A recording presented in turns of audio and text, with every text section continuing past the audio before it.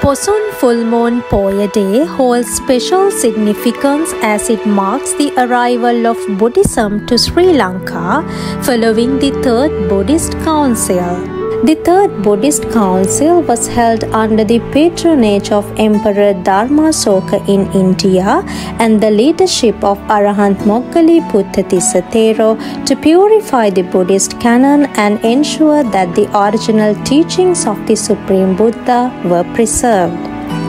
The council decided to disseminate the Buddha's teachings to neighboring countries, and nine missionaries were sent to various regions.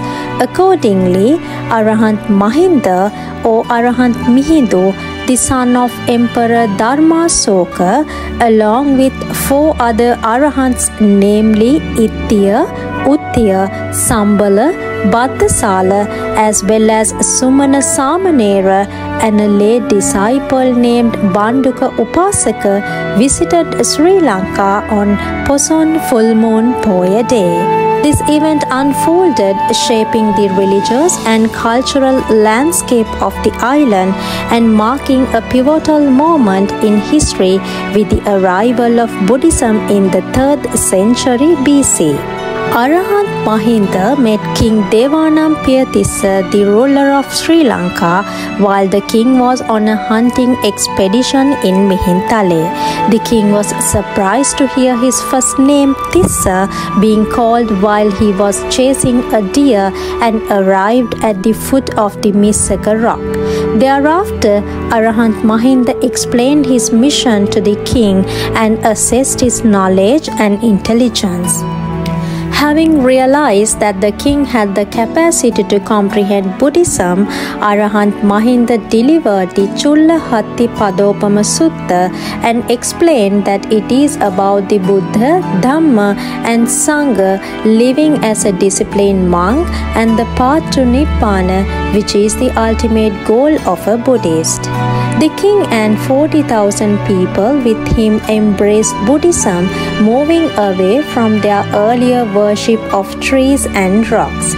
On that day, the lay disciple Banduka Upasaka was ordained as the first ordination in the island by Arahant Mahinda. Queen Anula, King Devanampiyatissa's sister-in-law, along with 500 of her attendant ladies, gained mental attainments to become Sotapanna after listening to the discourses by Arahant Mahinda and were very keen to enter the order of Bhikkhunis. Arahant Mahinda's visit also paved the way for his sister Arahantan Sangamitta to come to Sri Lanka with a sapling of the Sri Mahabodhi and established the Meheni Sasana or the Bhikkhuni Sasana in Sri Lanka. Later on, the relics of the Supreme Buddha were obtained from Emperor Dharmasoka and enshrined at the Thuparama Dagaba in the sacred city of Anuradhapura, which is believed to be the first historic stupa built in Sri Lanka. The arrival of Arahant Mahinda created a new era in the country. Often referred to as the cradle of Buddhism in Sri Lanka, Mihintale plays a pivotal role in the island's cultural evolution.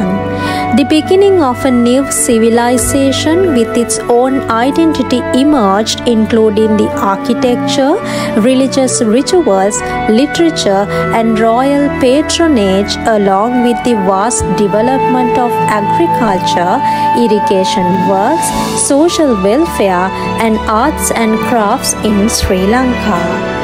While there are many events to engage in with meritorial deeds to celebrate Poson Full Moon Poya Day, the ancient capital of Anuradhapura in Sri Lanka specially draws large crowds of pilgrims who converge to partake in mass religious observances, illuminations, and pageants. Another feature of the Poson celebration is colorful processions that commemorate the visit of Arahant Mahinda known as Mihindu Perahera. These are the main facts the Buddhists celebrate Poson Full Moon Poya Day with great reverence, festivals, and processions throughout the world.